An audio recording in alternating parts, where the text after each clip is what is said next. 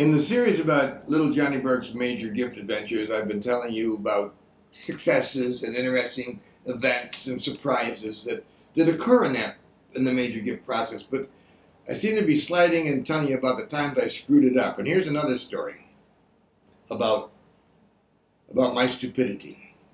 The major gift prospect invited me to spend a Saturday with husband and wife on their their ship, their multi-masted sailing ship.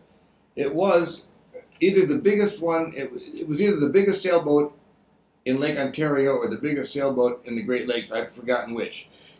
They were talking about sailing from Rochester over to uh, Toronto for lunch or having one of their crew, who's also a chef, cook for us on the boat. Either way, I turned them down.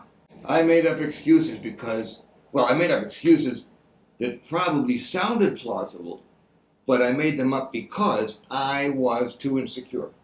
I was intimidated with the idea of sitting with them on the deck or in the cabin for hours talking because I was just a little guy from a lower middle class family and, and these were people of immense wealth and experience in the world.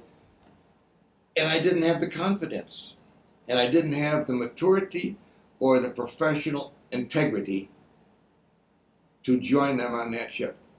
I was just starting out in my career, and here's the lesson I learned. Over the next couple years, I got to know them well, and we spent hours together, Mr., Mrs., and me, talking about our organization.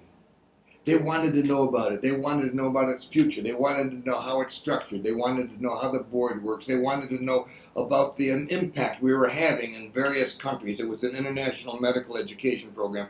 They wanted to understand it. And in those conversations, we were having a great, exciting joy of interaction. The same kind of thing we could have done on the ship, but I was too immature and too insecure to do it. And here's the lesson. You must never make the mistake I made and underestimate the interest, the level of commitment that your major gift prospect has. What I did is I intruded my insecurities between the prospects and the organization. Instead of Instead, I should have been in the middle, serving as their tour guide. I don't use the word cultivation. I don't talk about the traditional stage of cultivation because cultivation is sort of a one-way street where you're trying to get people to like you. That isn't the way it should be. It should be collaboration, as we could have had on that ship, as we had in the years that followed. Collaboration, where we sit and explore and discuss and share information about the organization and from that comes the real solid relationship, the sustainable relationship, the one that produces the support that my organization needed and that your organization needs.